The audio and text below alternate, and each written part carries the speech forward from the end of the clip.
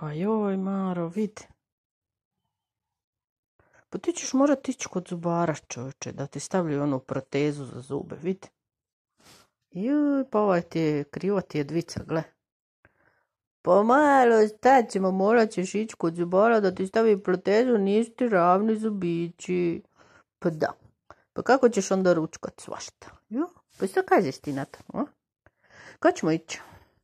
Ićemo i tamo i ponećemo sličicu, uslikat ćemo zube i nekom to tamo lijepo napravi protezu. hm? Pa da, imaš lijepe ravne zube, pa da.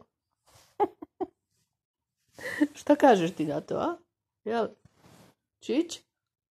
I, ćeš imati stjah od zubaja, ej, ćeš imati stjah od zubara. Nećeš. Pa kad si išla kod veterinara, možeš ići kod zubara. Pa da.